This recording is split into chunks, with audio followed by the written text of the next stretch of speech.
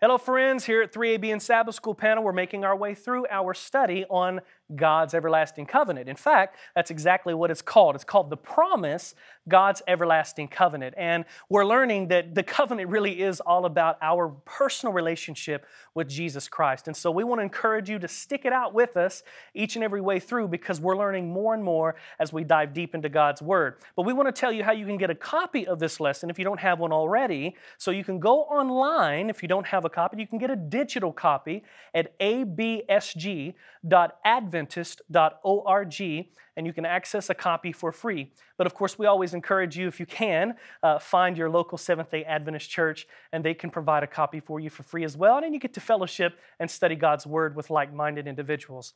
So, again, grab your pens, your pencils, your writing utensils, iPads, whatever it is you use, and get ready to dive deep with us into God's Word as we discuss God's everlasting covenant.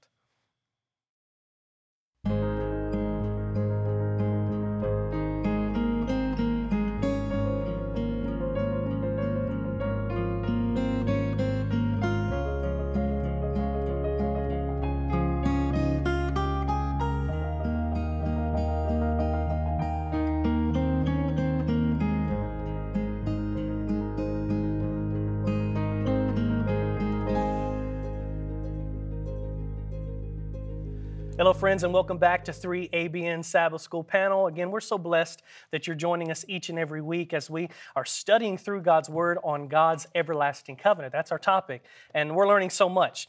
And uh, we have lots to cover today, as today's lesson is actually entitled An Everlasting Covenant. And we're going to be looking at God's names, the meaning of those names, and how they relate to uh, God in connection with the covenant and his people. And so, that being said, I'm going to go ahead and introduce this fine panel. Uh, to my left, I have Miss Jill Morikone. It's always a blessing to have you. Thank you so much, Ryan. Privileged to be here. Amen. Praise the Lord. We have Pastor John Dinzey. How are you, brother? I am doing well, thanks to the Lord, and it's a privilege also for me to be here. Amen. Praise the Lord. And to your left is Miss Shelley Quinn. Always a blessing to hear what you have to say about the covenants. Oh, this is exciting to me. Amen. And of course, last but not least, on the far end of the table, Thursday's lesson today is Pastor John Lomacang. Yeah, I'll get whatever you guys leave over for me. I appreciate it.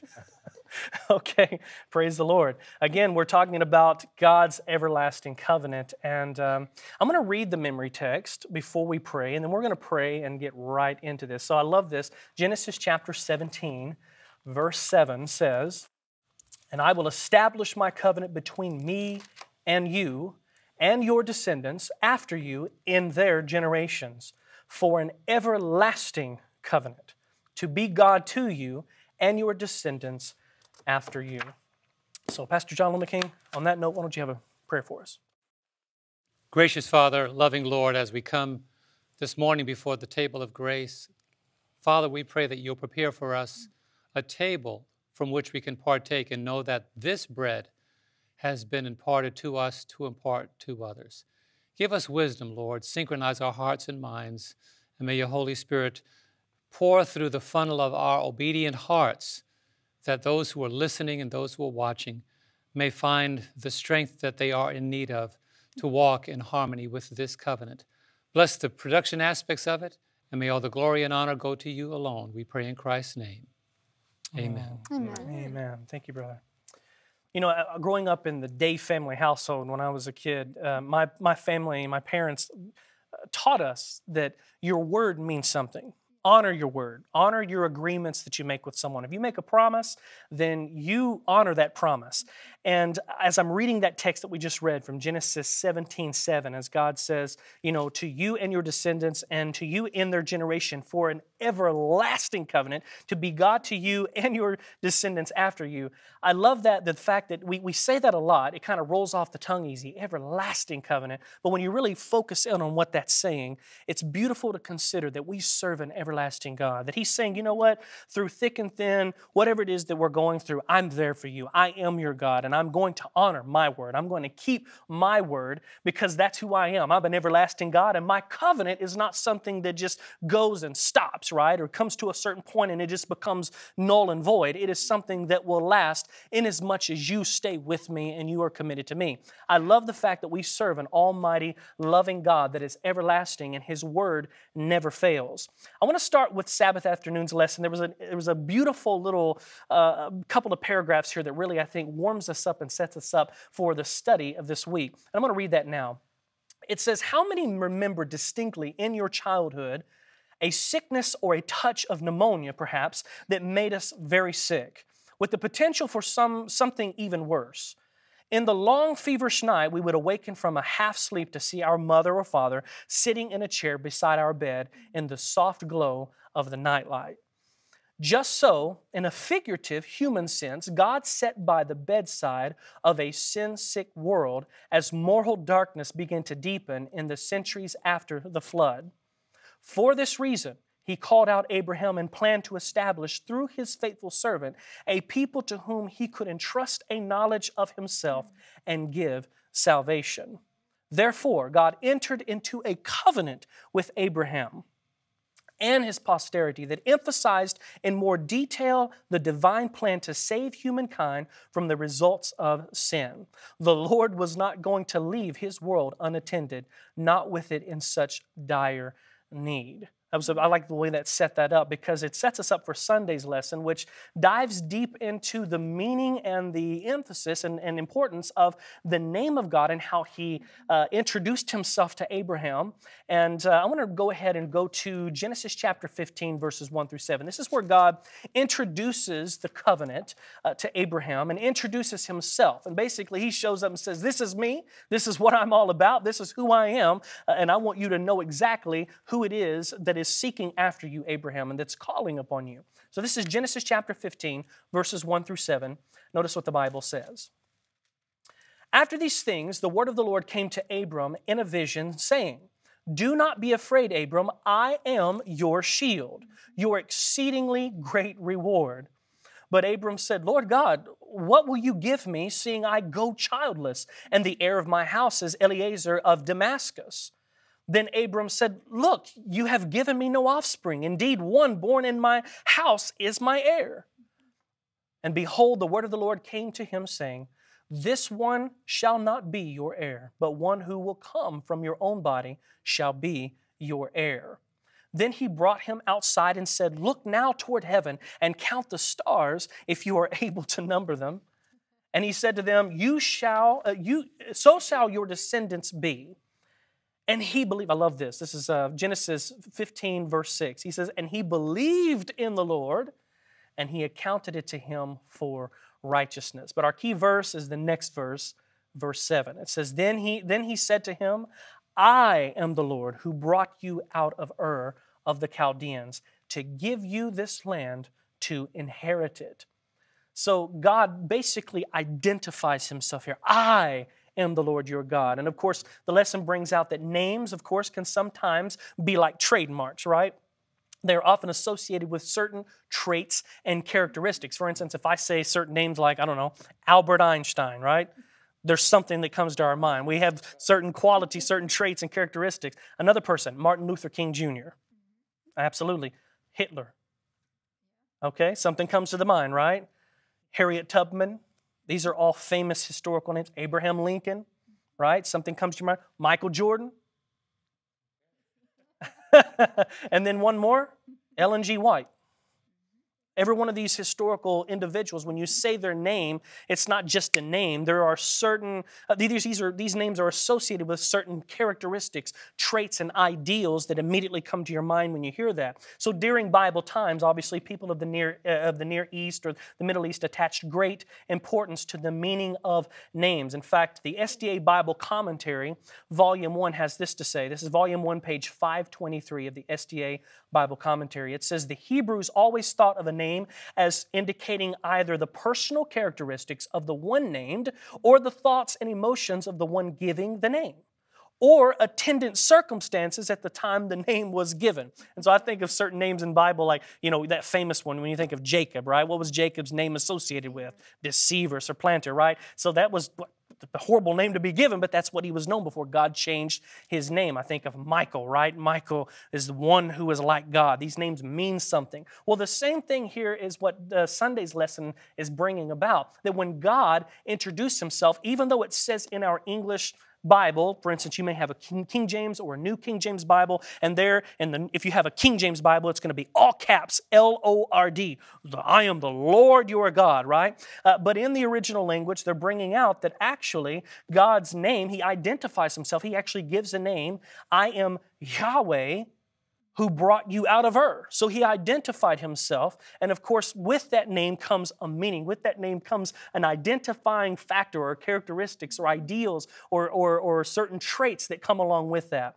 And uh, it's interesting that that name, Yahweh, which we see in our Bible as Lord, uh, it appears more than 6,828 times in the Old Testament alone, which is powerful. God wants us to know who He is. He wants us to know that I am the Lord, your God. It also happens to be a name, of course, shrouded in mystery. Uh, scholars suggest it could be a form of the Hebrew verb. I'm hoping I'm saying this correctly, hayah. It almost makes me want to I don't know. I just come to hiya, right? You know, you just want to do uh, some, some, karate there. Uh, but no, seriously, it's, it's a real Hebrew word, and this is what the scholars say that it comes from the Hebrew verb haya, which means to be, in which case it also can mean, get this, the eternal one, the existent one, the self existent one, the self sufficient one, or the one who lives eternally. Kind of like that everlasting covenant, that eternal covenant. He is an eternal God. He is an eternally existent God. And of course, uh, this is describing the divine attributes of God. It's describing his character. God is revealing to Abraham, and, it, and it's powerful if you think about this. Abraham was in Ur. Of course, this is a region outside of Babylon. So he would have been just, just shrouded and just stooped in, in, in Babylonian culture. So you're talking about he's living in the epicenter of occultic practices and pagan polytheistic culture where at every little turn somebody's worshiping some kind of God, whether it's you know, the God of the wind or the God of the air, or the God of the grass or the God of the sea or the God of gold and silver or whatever kind of gods they serve there. And then this God shows up and says, Hey, Abraham, I'm Yahweh. I'm the eternal one.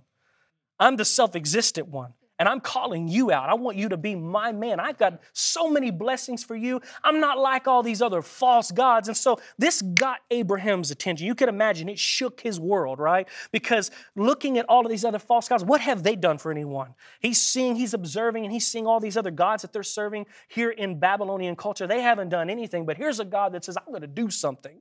I'm going to make things happen for you. I'm going to bless you. You're going to be a blessing to others. And this is who I am. I am Yahweh. I am the the God of everything. And so Abraham, the Bible says, he believed it and it was accounted to him for righteousness. He knew that there was something different about this God. In fact, in Exodus 3:14, that's what comes to my mind, when God actually identified himself and what this Yahweh means, when he identified himself to Moses and said, you know, when Moses asked him, so what, when I go into Egypt, what should I call you? Who, who should I tell sent me? He said, I am who I am. That's just who you tell me. Why?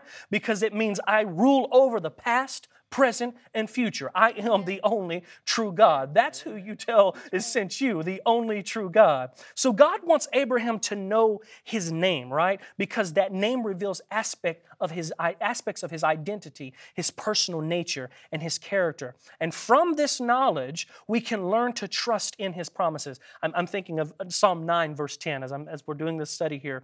And those who know your name, this is Psalm 9, verse 10, and those who know your name will put their trust in you. For you, Lord, have not forsaken those who seek you. Did God forsake Abraham?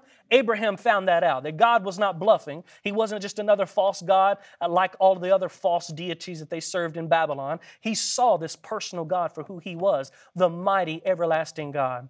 Another one, Psalm 91, verse 14. Love this text. Because he has set his love upon me. Therefore, I will deliver him. I will set him on high because he has known my name. God's name is much more than just a name, my friends. God's name tells us the story of who He is. He is the Almighty God. He is the everlasting God who wants to bestow that everlasting covenant upon us. If only we would just surrender to Him now and, and accept Him for who He truly is Yahweh, the eternally existent one. Amen. Mm. Thank you so Amen. much, Ryan. We're having church. That's yeah, powerful. that's the truth. I think maybe we could have you be just a little less excited. No, mm-hmm. I love that. I love Ryan's energy and enthusiasm. What an incredible setup to our lesson, Yahweh. I love that. I have another of the names of God. I have El Shaddai. Now, El just means God. Mm-hmm. In the Semites, it was their basic name for referring to God. Mm-hmm. And it means might or power. And it occurs many hundred times throughout Hebrew but it's connected El Shaddai, God with Shaddai. And we're going to study what that means. Let's look first at the first time that this word for God, El Shaddai, is used in the Bible. This is Genesis 17, verse 1. This is talking to Abraham. Genesis 17, verse 1. When Abram was 99 years old, the Lord, this is Yahweh that Ryan already addressed, mm-hmm. appeared to Abram and said to him, I am Almighty God. Hmm. I am El Shaddai. Hmm. Walk before me and be blameless. This covenant making story is introduced by this appearance of God right here. And God repeats his promise to Abram. Remember his promise first made in Genesis 12. Hmm. It was repeated in Genesis chapter 15. That promise of descendants, but yet he's still childless. That promise of land, and yet he doesn't have a great deal. That reaffirmation, God reaffirmed his covenant right here with Abram to both him and his descendants. And he gave circumcision as a sign of that covenant. Now, Abram was 75 years old, which we would consider in today's society, he's already getting older, maybe even retirement age. And yet, at, at the age 75, he is called to leave Ur of the Chaldees. And at this point, He's 99 years old, and that promise that God gave to him, he hasn't seen the fulfillment yet. Mm-hmm. So God comes and says, I am the Almighty One. I can fulfill that promise. Shaddai occurs 48 times, the word Shaddai, in Hebrew, almost exclusively in the book of Genesis and the book of Job. Of course, the first time it occurs, we just read that reference there. And Shaddai comes, now we translate it, we you could say sanitize it in English in the Bible, because we translate it God Almighty. And clearly, mm. God is Almighty. But the original word Shaddai comes from Shad, which literally means breast. So you could say this means the mighty breast. This is where we get that concept of God Almighty. Remember, maybe two weeks ago, I'm trying to remember when it was, a couple weeks ago, Pastor John, I think it was Pastor John, talked about we are made in the image of Yes. God, male and female, created in the image of God, meaning that God has, you could say, attributes, mm-hmm. characteristics that would be both what we would naturally identify as masculine or feminine. And in this case, the mightiness of God implies power, but not power of violence. This is the power of bountifulness. It suggests that God is the pourer forth, mm-hmm. the shedder of blessings. He is our El Shaddai, in contrast with the weakness and the frailty of humanity. So let's look at, you might say, okay, so why do I care about that? What does it matter to know that God is our El Shaddai? I think there's seven lessons, seven reasons that I can see here. You know, I was going there, Ryan. So, lesson number one El Shaddai gives me hope in seemingly impossible situations. That's what God did to Abram. He's 99 years old and he was given the promise years before. And yet he and his wife are way past the childbearing age, especially his wife, past the time of woman. There's no way from a human perspective that they could have children. And yet God appears and he says, I am a powerful God. I am a bountiful God. I am the God who can pour forth and shed blessings upon you. Whatever you need, whatever you lack, I will supply it. So, are you facing a seemingly impossible situation today? Know that your God, El Shaddai, He specializes, God Almighty, in taking a seemingly impossible situation and turning it around.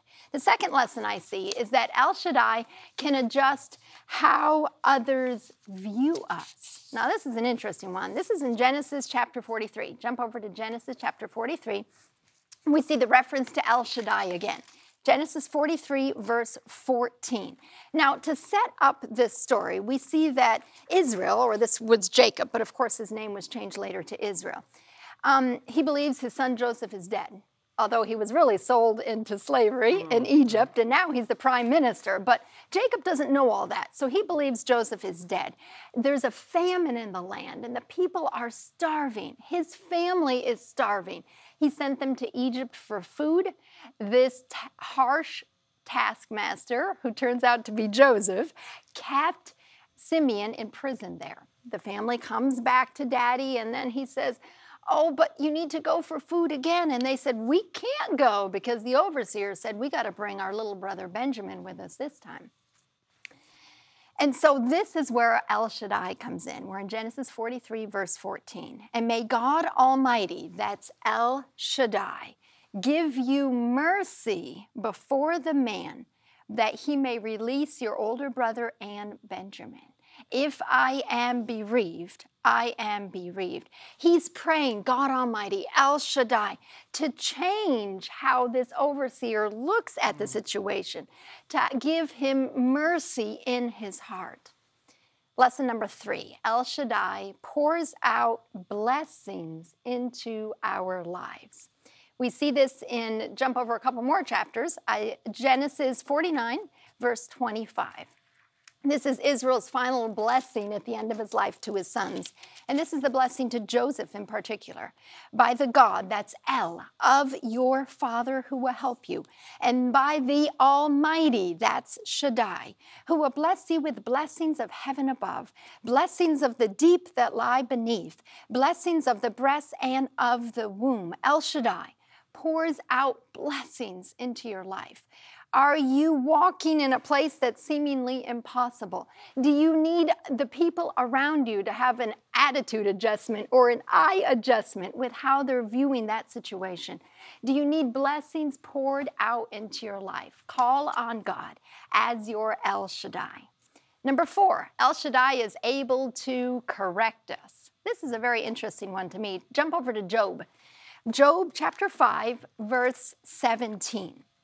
Behold, happy is the man whom God, that's El, corrects. Hmm. Therefore, do not despise the chastening of the Almighty, hmm. that is Shaddai. Hmm. Now, both parents correct, clearly. When you grow up, usually the father disciplines and the mother disciplines. But if we look at the connotations from this, to me, this is specifically looking at how would your mama correct you? And I remember when I was growing up, my mom had many ways to correct me, but the one way that was most effective, I remember she walked into the bedroom. I knew I was going to get whipped. And she walked in and she knelt down. I'll never forget this. And she began to pray. And she said, God, forgive me for not being the mother to Jill that I should hmm. have been. And that broke my heart. That mother's love for me, that desire that I would turn from my wicked ways and I would follow God, that brought me, wooed me back to the Lord Jesus Christ. Next lesson is El Shaddai is all powerful. Still in Job, Job 11, verse 7.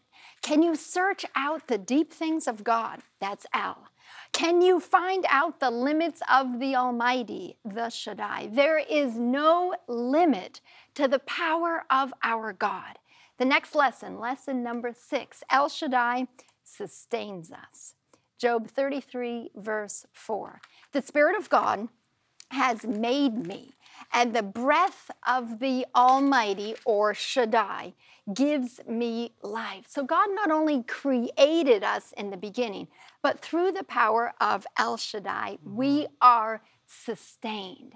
And finally, number seven, El Shaddai always does the right thing. Mm-hmm. Job 34, verse 12. Surely God, that is El, will never do wickedly, nor will the Almighty, that is Shaddai, pervert justice. El Shaddai is not swayed by other people's opinions, by other people's emotions, or outside pressure. God will always do the right thing. I'm so thankful no matter what we are facing that we can call on Him as our El Shaddai. Mm, praise the Lord. I like that. I, love that story about your mom.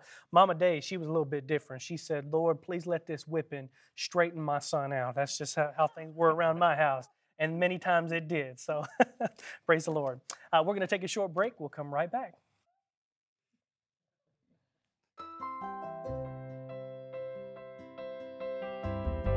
Ever wish you could watch a 3ABN Sabbath School panel again? Or share it on Facebook, Instagram, or Twitter? Well, you can by visiting 3abnsabbathschoolpanel.com. A clean design makes it easy to find the program you're looking for.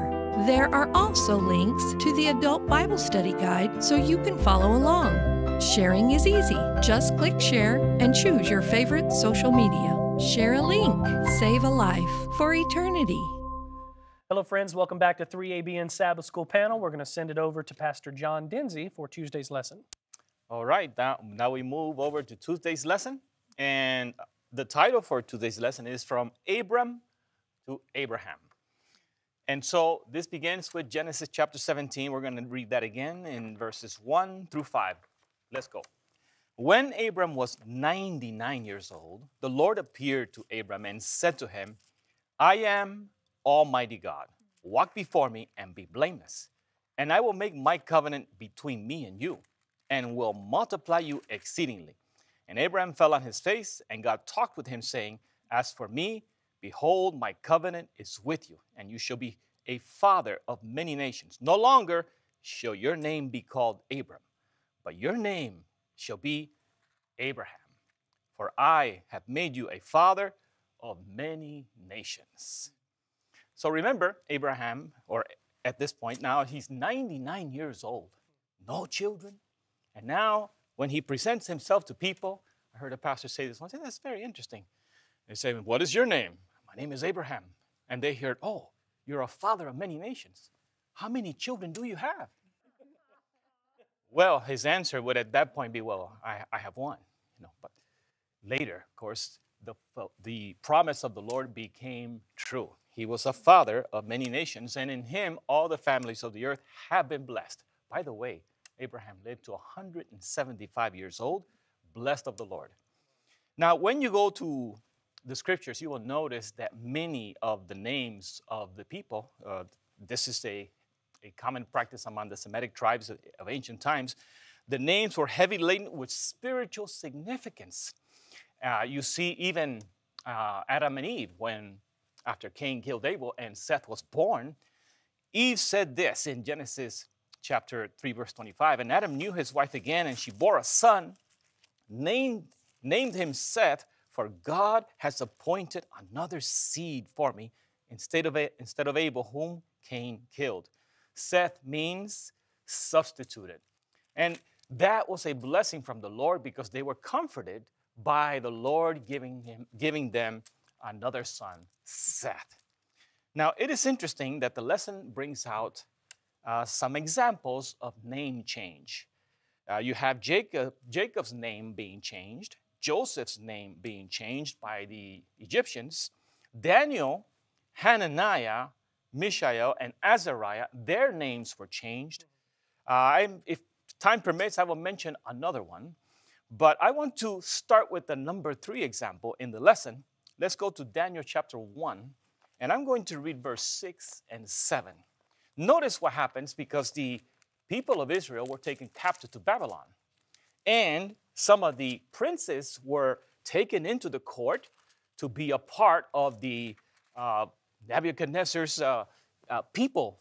And this was a strategic move by Nebuchadnezzar because these princes of the people would help them be able to control the Jews that were captive among them. Now, notice what happens Daniel 1, verse 6. Now, from among those of the sons of Judah were Daniel, Hananiah, Mishael, and Azariah, To them, the chief of the eunuchs gave names. He gave Daniel the name Belteshazzar, to Hananiah, Shadrach, to Mishael, Meshach, and to Azariah, Abednego. Uh, of course, you notice that their names were changed. And it's interesting because these Hebrews, their names meant something special. They had a spiritual significance. The changing of the names was not for a good reason, uh, it was to in their in their lives experience in Babylon so that they could identify with the gods of, of Babylon. Actually, even the name Babylon in the Babylonian language means gate of the gods. So many gods, they were pagans. And they wanted these Jews not to have their names having uh, beautiful significance about the Almighty God continually sounding.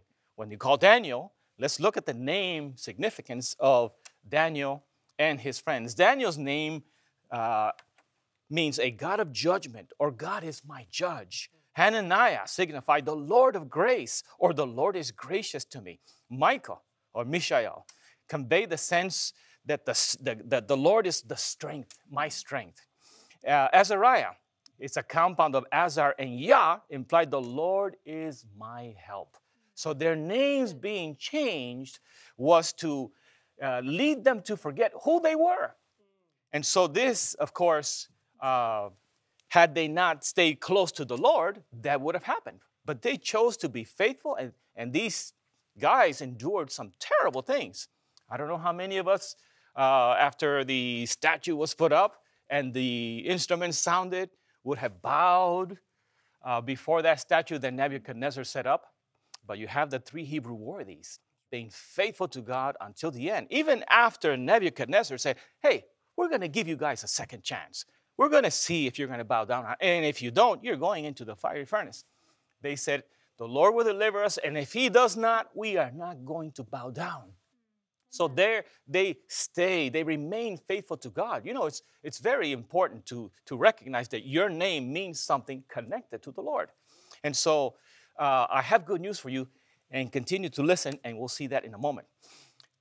See, as Christians, we must not, never forget, not forget that we are pilgrims and strangers in this world. I want to talk to you about Jacob because uh, his name uh, was changed for a good reason. Uh, in Genesis chapter 32, verse 28, uh, it says here, And he said, Your name shall no longer be called Jacob, but Israel, for you have struggled with God and with men and have prevailed. Uh, and so here you have uh, Jacob's name being cha- changed. He wrestled with the angel uh, during the whole night, and uh, he realized that, wait a minute, this is no common man. And so he held on he held on and he was uh, blessed to have his name changed. And I want to uh, point out something interesting because uh, his brother said something interesting about him in Genesis 27, verse 34 to 36. When Esau heard the words of his father, see, Jacob had come in and stole the, the blessing that he, that he was supposed to receive. When Esau heard the words of his father, he cried with an exceedingly great and bitter cry and said to his father, Bless me, bless me also, O my father. But he said, Your brother came with deceit and has taken away your blessing. And Esau said, Is he not rightly named Jacob? For he has supplanted me these two times. He took away my birthright, and now look, he has taken away my blessing. And he said, have you not reserved the blessing for me? He was desirous to have the blessing that he despised earlier in his life. But Jacob's name was changed to Israel. A wonderful change. And so I'm going to read to you from Patriarchs and Prophets, page 198. Notice here the error that had led Jacob sin in obtaining the birthright by fraud was now clearly set before him. He had not trusted God's promises, but had sought by his own efforts to bring about that which God would have accomplished in his own time mm. and way. As an evidence that he had been forgiven, his name was changed from one that was a reminder of his sin to one that commemorated his victory. Thy name, said the angel, shall be called no more Jacob, the supplanter but Israel. For as a prince hast thou power with God and with men, and hast prevailed. Jacob had received the blessing for which his soul had longed. His sin as a supplanter and deceiver had been pardoned. The crisis in his life was past. Doubt and perplexity had, uh, had and perplexity and remorse had embittered his existence. But now all was changed, and sweet was the peace of reconciliation with God. Jacob no longer feared to meet his brother. God, who had forgiven his sin, could move the heart of Esau also to accept his humiliation and repentance. Praise the Lord. His name was changed from something negative to something positive. And the good news I have for you, I don't know what kind of name you have, whether you like it or not. And uh, I, I, heard some horrible name that some father gave to his daughters. Uh, they had three daughters. They called them yesterday, today, and tomorrow. I don't know what in the world got into the minds of these parents, but I don't know if you've been called something else uh, that you didn't like by your peers, but God is going to give us a new name, bought, bought, bought by us through Jesus Christ. He paid the price to be able to not only redeem us, to call us, call us his children and give us an inheritance, but to have our names changed because God loves us, wants the best for us. Abraham's name was changed so that he could identify with the promises that God had made to him.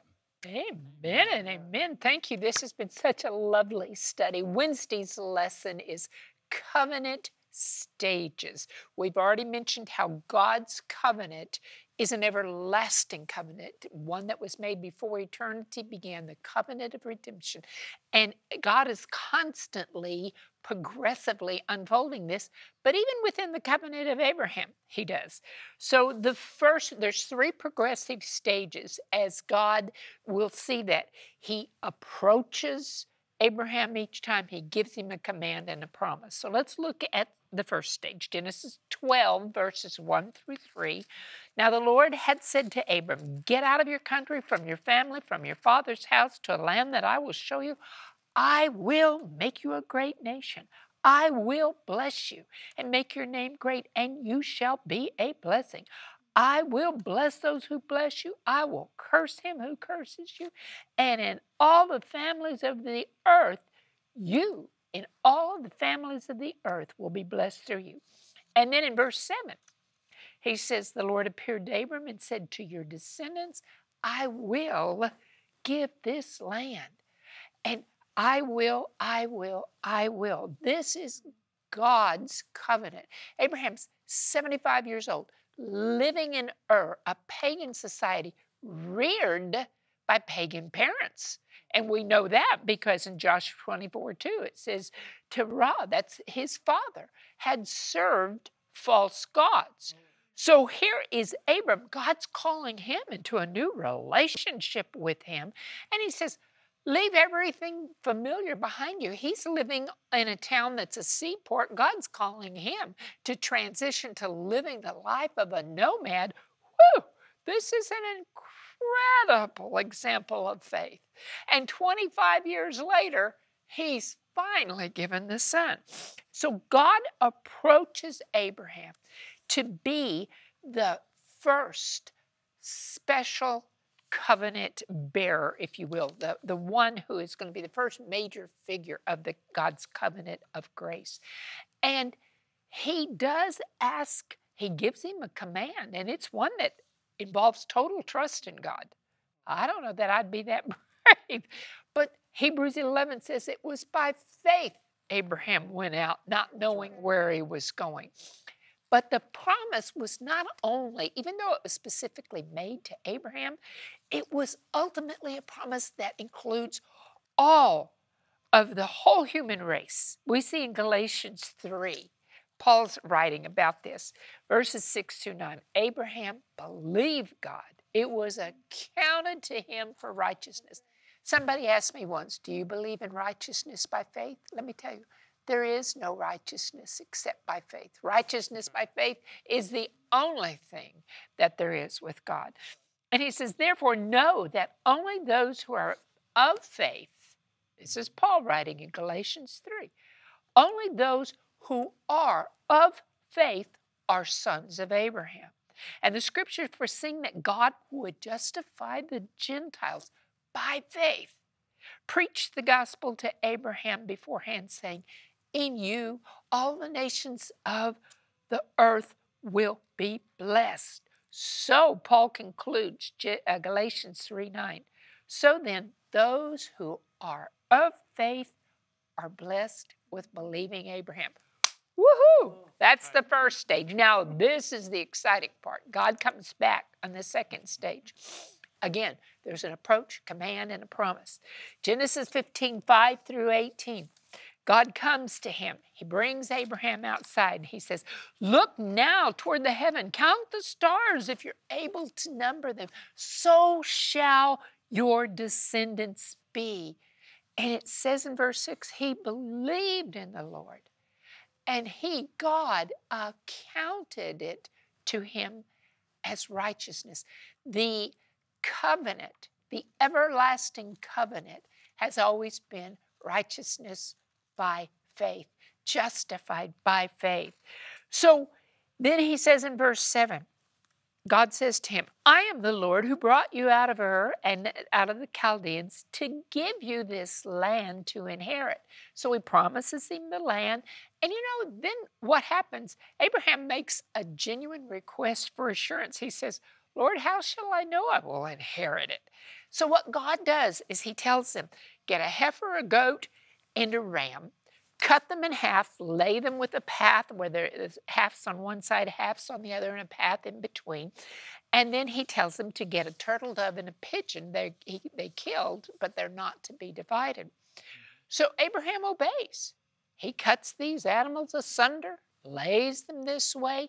Now, you know, in the ancient days when man would cut a covenant with man, make a covenant, they called it cutting a covenant. This is what they did. And and what would happen is then each man would walk through the path and they are saying basically as they're doing this taking this covenant so let it be done to me let me be cut in half if i break this covenant but let's watch this because what happens after Abraham obeys? God puts Abraham in a deep sleep, just like he put when he put uh, Adam in a deep sleep when he was going to create Eve. Now, get this while he's in the deep sleep, God's going to walk through this. Abraham never walks through this because there's only one person making the promises, Abraham did there it didn't involve any promise on Abraham's part. It was God's promises. So God is going to walk through this and he talks to his sleeping prophet, telling him his descendants are going to be, you know, 400 years in this land where they're, they're going to be afflicted and there'll be strangers in the land. And then he promises he'll judge Egypt. So he's talking to Abraham. It's from verses 13 to 21. Abraham's hearing it in a, in a vision as he sleeps. But the Abrahamic covenant, it's interesting to me that God, maybe it's because this is the way people cut covenants. God wanted to prove that it was a covenant, but he was the only one. So figuratively, God is saying, So let it be done to me if I were to break my covenant. Now, the third stage, Genesis 17. Whew, Abraham's 99 years old. God appears to him, says, I am Almighty God. Walk before me and be blameless. Woo! There is, remember, the covenant is God's covenant. He always says, My covenant. He makes the promises.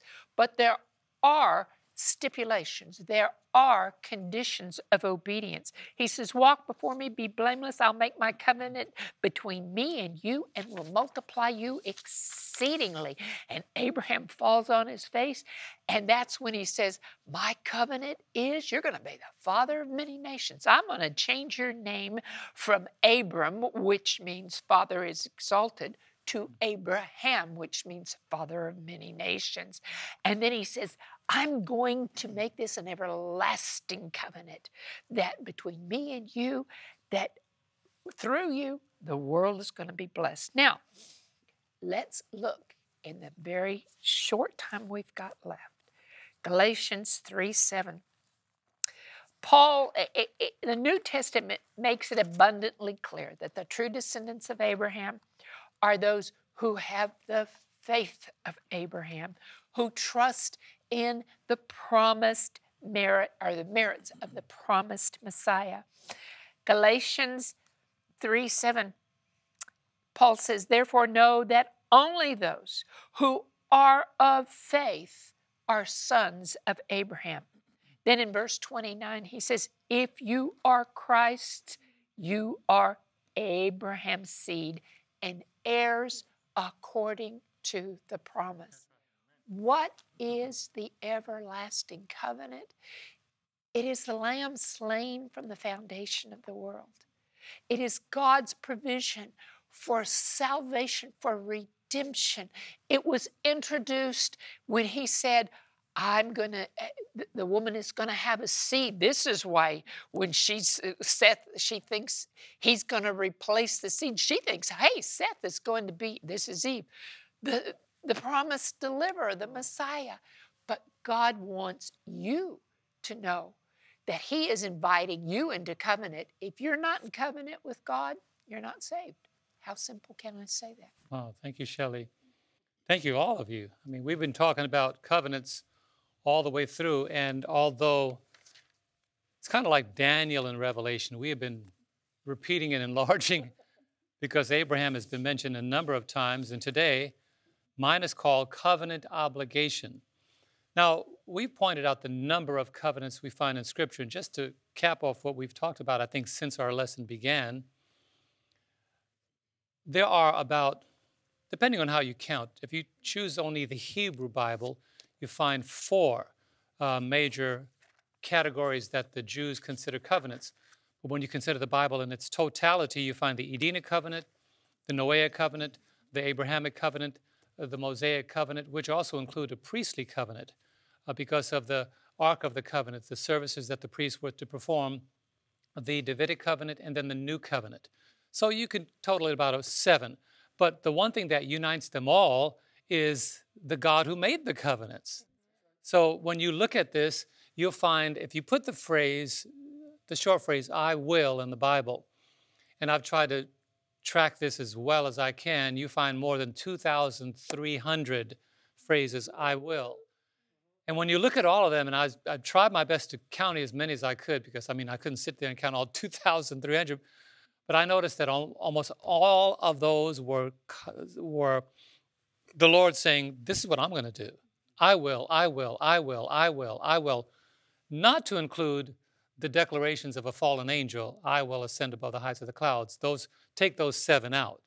But in most cases, God was making declarations. And these declarations was from the God of the covenant. Uh, as we talked about the, the tetragrammaton, the, the, the, the phonetic name of God, Yahweh, with the, just with YHWH. And he is the God of the covenant. So these covenants were made from beginning to end. And every covenant, and this is something very, important, very important to understand, every covenant that God made, he did not have preconditions to him extending the covenant, but he sure did have conditions to those who embraced the covenant. Let's start with Genesis 18, verse 19. And Abraham has been the Abraham has been the star of this panel today. He says, For I have known him in order that he may command his children and his household after him, that they keep the way of the Lord to do righteousness and justice, that the Lord may bring to Abraham what he has spoken to him. So the Lord made the covenant, but he said, Hey, wait a minute. Your children, your household, there's something I'm going to require of them. And then when we find that requirement that the Lord made very clear to Abraham, command your household after the covenant I've made with you. And then you find these words that are so beautiful in Genesis chapter 26 and verse 5. Here's what the Bible says. And why did God bless him? Because Abraham obeyed my voice, kept my charge, my commandments, my statutes, and my laws. A lot of people read that and say, wait a minute, that's long, long, long before Sinai. You have Abraham, Isaac, Jacob. You have Jacob's 12 sons. Then you have they go into bondage. Then they have they come out. Then the Lord gives them 10 commandments. And people that think the commandments just came into existence at Sinai thought, well, what commandments did Abraham keep? Well, you find in the Bible there were 1,500 years of unwritten record, but there was not 1,500 years of unwritten requirements to be obedient. Why would, you, why would there be a need to be obedient unless there's something to be obedient in harmony with? How could men have sinned all that time lest there's a law that could have been violated? But Abraham was the one that was the man that was obedient. He obeyed my voice. Obedience could not exist except there is a law to live in harmony with. So we find once again, as we look at the Old Testament and the New Testament, you find once again this unconditional extension of a commandment and, the, and a covenant from God, but surely He does require obedience on the part of those who embrace it. Hebrews 10 and verse 16. We're going all the way down to the new covenant. And in as we look through the lessons, I'm just so excited. When we prepare for these lessons, as we look through them, we start to see things that we love to say today, but we got to wait till the time comes because I just have loved this study. But he says, This is the covenant I will make with them after those days, says the Lord. I will put my laws in their hearts, and in their minds I will write them. In other words, they're not going to have to carry around the Torah. They're not going to have to carry around the Ark of the Covenant. It is going to be here, it's going to be here. And the consciences of men can only be consciences when the Spirit of God awakens within them this reminder that there's an obligation. God made a covenant with you, and your obligation to honor that covenant, if that covenant is violated, it awakens within us this sense of guilt, this sense of falling short. All have sinned and fallen short of the glory of God. We can't fall short unless there's a covenant to live up to, to exalt and to measure our lives by, a standard by which each one of us is going to be judged.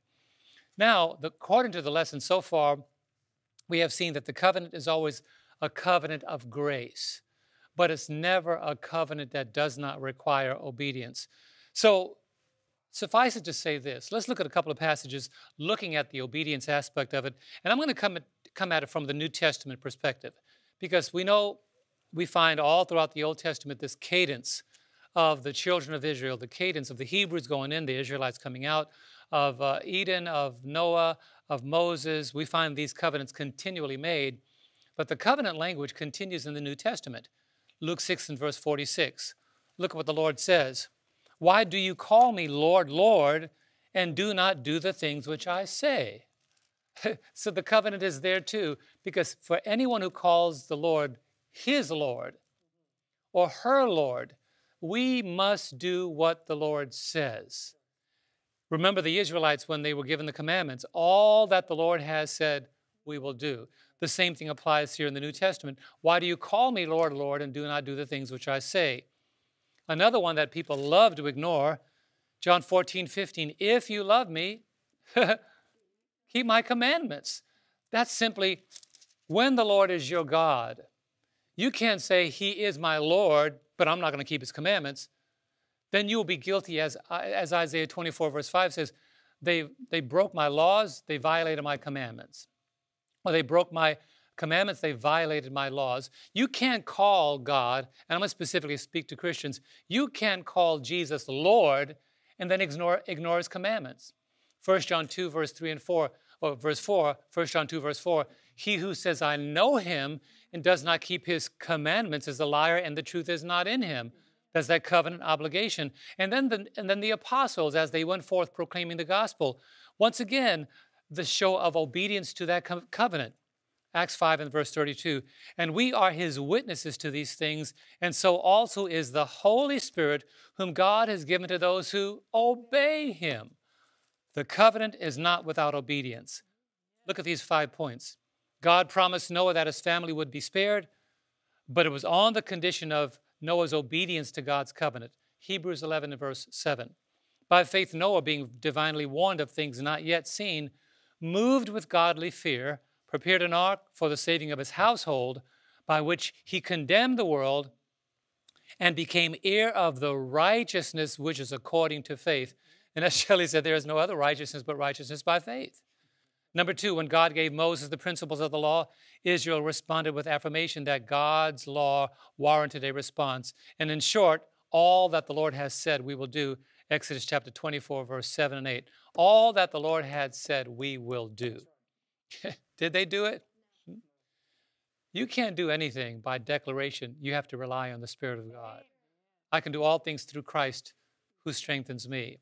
Number three, the covenant of God does not dismiss our obligation to God's commandments. Psalm 78 and verse 10 They did not keep the covenant of God. Why? They refused to walk in his law. Let me ask a question Are you a New Testament Christian that believes you don't have to walk in God's law? Well, the same statement applies to you. There's no way that you could be a covenant keeping Christian, a covenant keeping worshiper of God, and not be obedient to the law of God. Number four, God requires obedience to his covenant. Jeremiah 11, verse 1 to 6. I don't have time to read all of it, but I'll just simply put it this way. He says, Obey my voice and do according to all that I command you, and you shall be my people. And lastly, um, we find that God's covenant is always something that comes out of an obligation from our hearts. Let me make this point as we transition. If your heart is not filled with love for the Lord, the covenant of God is his love to you. Your response to the covenant of God is your love to him.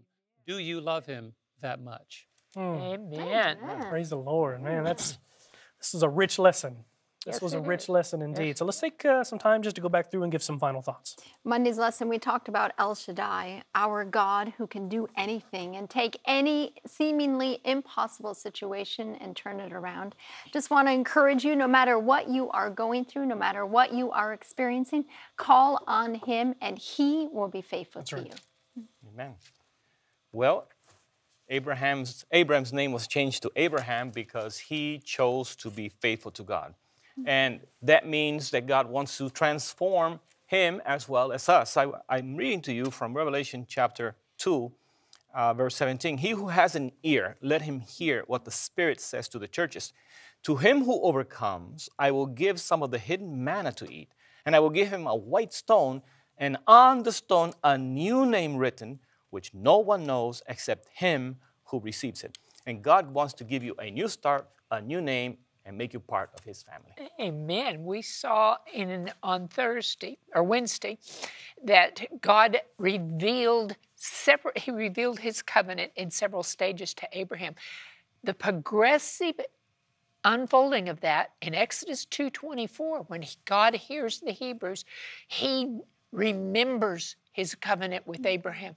The Sinai covenant is built on this everlasting covenant with Abraham. In Luke uh, 1 and verse 72, God sends Christ. He remembers his covenant with Abraham. It's all about the everlasting covenant. That's right. If you are a covenant keeping Christian, God does not want lip service, He wants life service. Amen. Matthew 15, verse 8 The people draw near to me with their mouths and honor me with their lips, but their hearts are far from me. I pray that you will not be a lip service Christian, but a life service Christian. Amen. Praise the Lord. This this lesson has reminded me of just how committed God really is to us. Um, it's not always the case that we are as committed to Him, but uh, He is certainly committed to us. And I just want to invite you, if you're home uh, watching, wherever you are around the world, commit yourself to Christ. Just at, reach out to Him and ask Him, Lord, help me to be more committed to you, and He will give you the Spirit to do so. We want to invite you to come back next week and join us for another lesson entitled Children of the Promise. Until then, thank you so much for joining us, and we will see you right back here next week on 3ABN Sabbath School Panel.